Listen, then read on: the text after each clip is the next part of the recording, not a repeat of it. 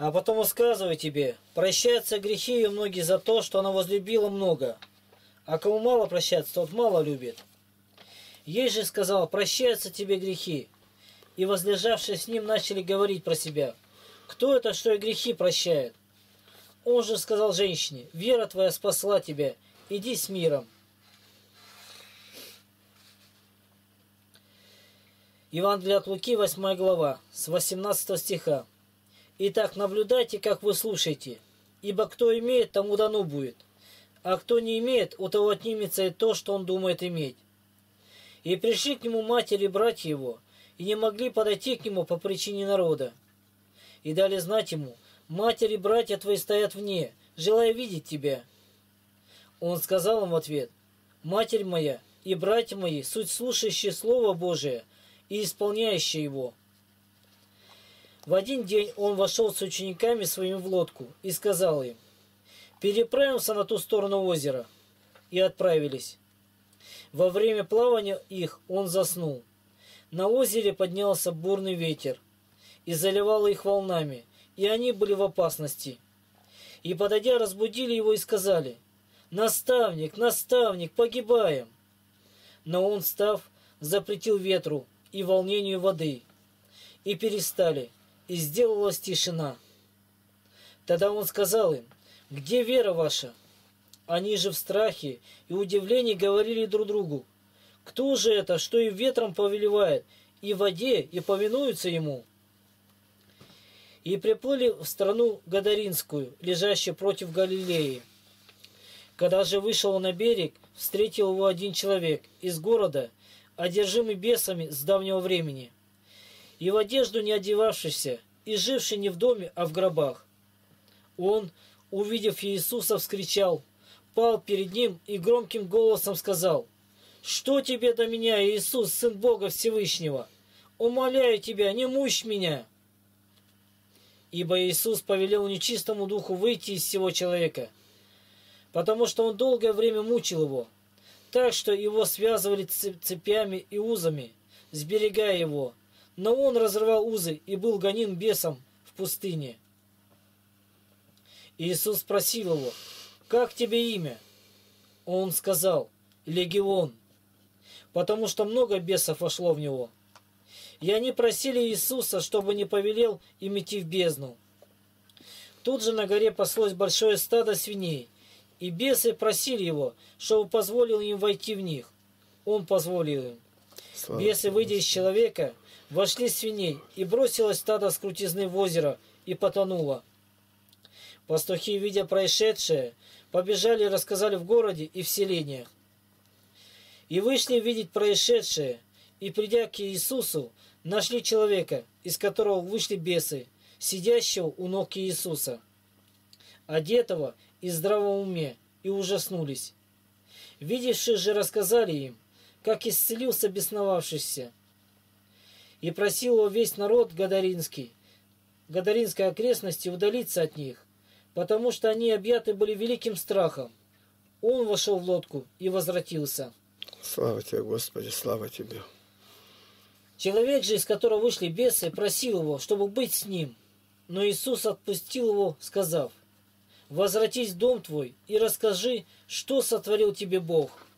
Он пошел и проповедовал по всему городу, что сотворил ему Иисус. Слава тебе, Господи. Когда же возвратился Иисус, народ принял его, потому что все ожидали его. И вот пришел человек именем Иаир, который был начальником синагоги, и, пав к ногам Иисуса, просил его войти к нему в дом, потому что у него была одна дочь, лет двенадцати, и та была при смерти. Когда же он вошел, когда же он шел, народ теснил его. И женщина, страдавшая кровотечением 12 лет, которая, сдержав на врачей все имение, ни одним не могла быть вылечена. Подойдя сзади, коснулась края одежды его, и тотчас течение крови у нее остановилось. И сказал Иисус, кто прикоснулся ко мне? Когда же все отрицались, Петр сказал и бывшие с ним, «Наставник, народ окружает тебя и теснит, и ты говоришь, кто прикоснулся ко мне?» Но Иисус сказал, «Прикоснулся ко мне некто, ибо я чувствовал силу, исшедшую из меня.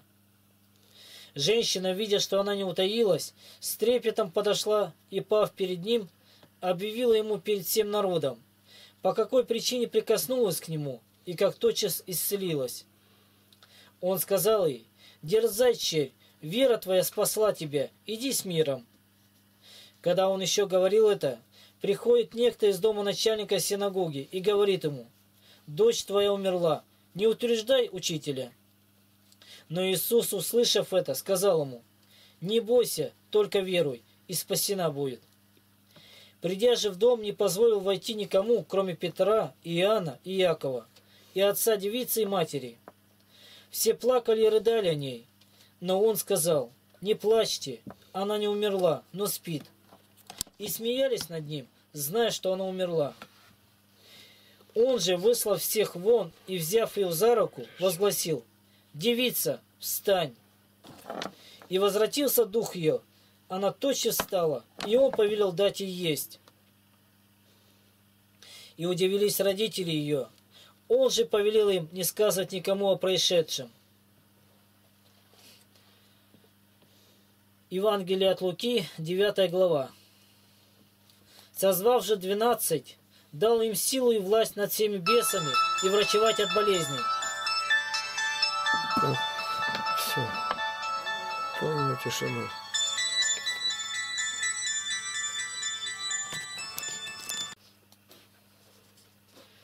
Евангелие от Луки, 9 глава. Созвав же двенадцать, дал им силу и власть над всеми бесами и врачевать от болезней. И послал их проповедовать Царствие Божие и исцелять больных. И сказал им, ничего не берите на, на дорогу, ни посоха, ни сумы, ни хлеба, ни серебра, и не имейте по две одежды. И в какой дом войдете, там оставайтесь, и оттуда отправляйтесь в путь. А если где не примут вас, то, выходя из того города, отрясите и прах от ног ваших, во свидетельство на них. Они пошли и проходили поселения, благовествуя и исцеляя повсюду. Услышал Ирод четверовластник о всем, что делал Иисус, и недоумевал. Ибо одни говорили, что это Иоанн восстал из мертвых, другие, что Илья явился, а иные, что один из древних пророков воскрес. И сказал Ирод, Иоанна я обезглавил. Кто же этот, о котором я слышу такое? И искал увидеть его. Апостолы, возвратившись, рассказали ему, что они сделали. И он, взяв их с собою, удалился особо в пустынное место, близ города, называемого Вифсаидою. Но народ, узнав, пошел за ним. И он, приняв их, беседовал с ними о Царстве Божием и требовавших исцеления исцелял. День же начал склоняться к вечеру, и, приступив к нему двенадцать, говорили ему, «Отпусти народ, чтобы они пошли в окрестное селение и деревни ночевать и достали пищи, потому что мы здесь в пустом месте». Но он сказал им, «Вы дайте мне есть». Они сказали, «У нас нет более пяти хлебов и двух рыб, Разве нам пойти купить пищи для всех всех людей? Ибо их было около пяти тысяч человек. Но он сказал ученикам своим, рассадите их рядами по пятидесяти. И сделали так, и рассадили всех. Он же, взяв пять хлебов и две рыбы, и, возрев на небо, благословил их, преломил и дал ученикам, чтобы раздать народу. И ели, и насытили все, и оставшихся у них кусков набрано 12 коробов. В одно время, когда он молился в уединенном месте, и ученики были с ним, он спросил их, «За кого почитает меня народ?» Они сказали в ответ, «За Иоанна Крестителя, а иные за Илью». Другие же говорят, что один из древних пророков воскрес. Он же спросил их, «А вы за кого почитаете меня?» Отвечал, отвечал Петр – за Христа Божия. Но он строго приказал им никому не говорить о всем, сказав, что Сыну Человеческому должно много пострадать и быть отвержену старейшинами, первосвященниками и книжниками, и быть убиту, и в третий день воскреснуть. Ко всем же сказал, если кто хочет идти за мною, отвергни себя и возьми крест свой, и следуй за мною. Ибо кто хочет душу свою сберечь, тот потеряет ее. А кто потеряет душу свою ради меня, тот сбережет ее. Ибо что польза человеку приобрести весь мир, а себя само погубить или повредить себе? Ибо кто постыдится меня и моих слов, того Сын Человеческий постыдится, когда приедет во славе Своей и Отца, и святых ангелов. Говорю же вам истинно, есть некоторые стоящих здесь, которые не вкусят смерти, как уже увидят Царствие Божие. После сих слов, дней через восемь, взяв Петра, Иоанна и Иакова, взошел на гору помолиться. И когда молился, вид лица его изменился, и одежда его сделалась белую, блистающую. И вот два мужа беседовали с ним, которые были Моисей и Илья. Явившись во славе, они говорили об исходе его, который ему надлежало совершить в Иерусалиме. Петр же и бывшие с ним отягчены были сном, но пробудившись, увидели славу его. Подожди-ка, это я сейчас уходить хочу. Так, вы хотели что-то спросить? Вы что-то хотели спросить? Батюшка, Говорите. батюшка, Ну вы встаньте, что вы хотели. Пример. я не знаю, вы батюшка. Господи, помилуй. И когда они отходили от него, сказал Петр Иисусу, «Наставник, хорошо нам здесь быть. Сделаем три кущи, одну тебе, одну Моисею и одну Илии, не зная, что говорил». Когда же он говорил это, явилось облако и осенило их. И устрашились, когда вошли в облако. И был из облака глаз глаголющий, «Сей сын мой возлюбленный, его слушайте». Когда был глаз сей, остался Иисус один. И они умолчали и никому не говорили в те дни о том, что видели. Следующий же день, когда они сошли с горы, встретил его много народа. Вдруг некто из народа воскликнул, «Учитель, умоляю тебя взглянуть на сына моего, он один у меня». Его схватывает дух, и он внезапно вскрикивает и терзает его, так что он спускает пену, и на силу отступает от него, измучив его. Я просил учеников твоих изгнать его, и они не могли. И Иисус же, отвечая, сказал, «О, род неверный и развращенный, да коли буду с вами, и буду терпеть вас, приведи сюда сына твоего». Когда же тот еще шел, бес поверг его и стал бить. Но Иисус запретил нечистому духу и исцелил отрока, и отдал его отцу его. И все удивлялись величию Божию. Когда же все дивились всему, что творил Иисус, Он сказал ученикам Своим, «Вложите вы себе в уши слова сии. Сын человеческий будет предан в руки человеческие». Но они не поняли слова сего, и оно было закрыто от них, так что они не постигли его, а спросить его о сем слове боялись. Пришла же им мысль, кто бы из них был больше. Иисус же, видя помышления сердца их, взяв дитя, поставил его перед собою и сказал им, «Кто примет сие дитя во имя мое, тот меня принимает, а кто примет меня, тот принимает пославшего меня. Ибо кто из вас меньше всех, тот будет велик». Притем Иоанн сказал, «Наставник, мы видели человека имени Твоим изгоняющего бесов и запретили ему, потому что он не ходит с нами». Иисус сказал ему, «Не запрещайте, ибо кто не против вас, тот за вас». Когда же приближались дни взятия его от мира, он восхотел идти в Иерусалим и послал вестников перед лицом своим. И они пошли и вошли в селение Самарянское, чтобы приготовить для него. Но там не приняли его, потому что он имел вид путешествующего в Иерусалим.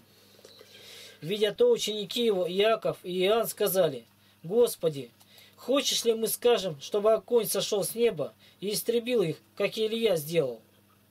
Но он, обратившись к ним, запретил им и сказал, «Не знаете, какого вы духа? Ибо Сын Человеческий пришел не губить души человеческие, а спасать». И пошли в другое селение. Случилось, что когда они были в пути, некто сказал ему, Господи, я пойду за тобой, куда бы ты ни пошел. И Иисус сказал ему, лисицы имеют норы, и птицы небесные гнезда, а сын человеческий не имеет где преклонить голову. А другому сказал, следуй за мною. Тот сказал, Господи, позволь мне прежде пойти похоронить отца моего. Но Иисус сказал ему, предоставь мертвым погребать своих мертвецов, а ты иди, благовествуй Царствие Божие. Еще другой сказал, я пойду за тобою, Господи, но прежде позволь мне проститься с домашними моими. Но Иисус сказал ему, никто, возложивший руку свою на плуг и озирающийся назад, не благонадежен для Царствия Божия. Слава тебе, Боже наш, слава тебе. Вы хотели что-то спросить? Ушел. Ну что, все, наверное. Пора готовиться. Ну все, останавливайте. Так, во славу Божию. Господи, помилуй.